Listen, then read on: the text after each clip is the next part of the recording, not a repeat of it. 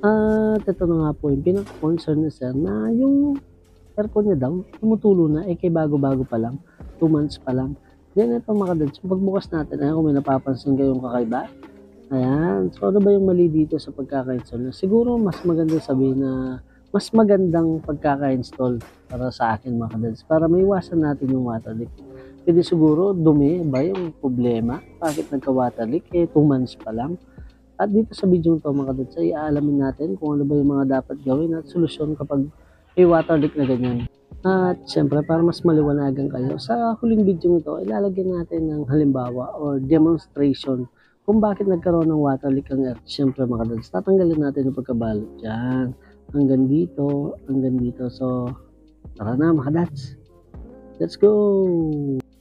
At ito na nga nakita namin sa drain hose niya. Ayan, hinati pala siya sa dalawa. Then, sinaksok dyan